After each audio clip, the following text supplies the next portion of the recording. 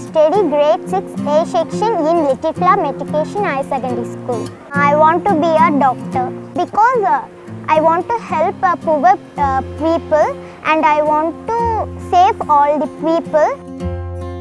Lead is very important for us because lead help us uh, to learn by showing the videos.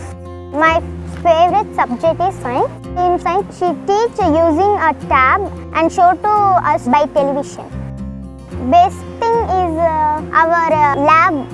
Like uh, we want to take a beaker and pour the water and we want to put 2 or 3 spoons of sodium salt and we want to put a nail to the sodium uh, solution. After 2 or 3 days, the iron rod will be coated uh, a brownish color.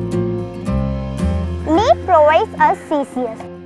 CCS is important because uh, it used for our future and uh, we can create our own app.